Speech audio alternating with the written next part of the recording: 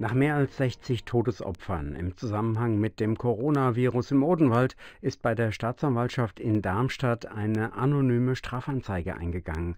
Sie richtet sich gegen den Landrat des Odenwaldkreises, Frank Matthiaske. HR-Reporterin Stefanie Ömisch im Odenwald, was soll der Landrat denn falsch gemacht haben?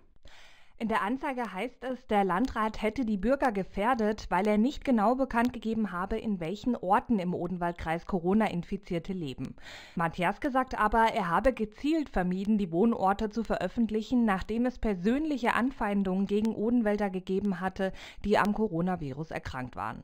Außerdem meint er, man müsse sich generell vorsichtig verhalten, egal ob man gerade in einem Ort sei, in dem Infizierte leben oder nicht. Die Staatsanwaltschaft Darmstadt prüft jetzt die Anzeige. Yeah.